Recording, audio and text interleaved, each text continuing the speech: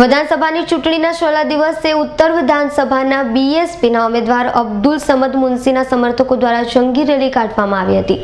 ભાજપ કોંગ્રેસ દ્વારા કરાયેલી લઘુમતી સમાજની બાદબાકીને પગલે તેમજ ચાલી રહેલા વિવિધ આંદોલનને કારણે બીએસપીના ઉમેદવારને ખૂબ જ સારો પ્રતિસાદ મળી રહ્યો છે.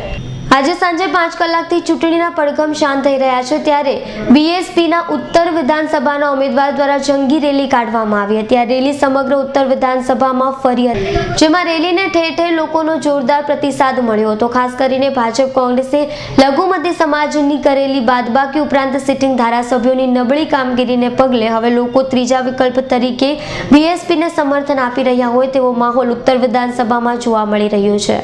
Bureau report, Surat.